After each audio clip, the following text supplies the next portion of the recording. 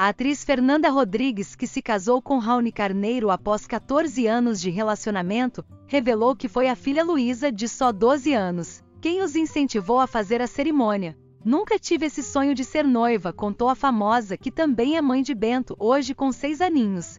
A artista celebrou a união em uma cerimônia repleta de famosos em Portugal. Ainda estou processando tudo que a gente viveu nesses dias tão mágicos e especiais.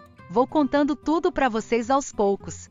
Escreveu a atriz enquanto mostrava uma linda foto do casal na cerimônia. Os próprios convidados divulgaram lindas fotos da cerimônia, que teve o Lucas Lima, marido de Sandy, tocando violino na entrada de Fernanda rumo ao altar com um lindo vestido branco com mangas e transparências. Um arraso.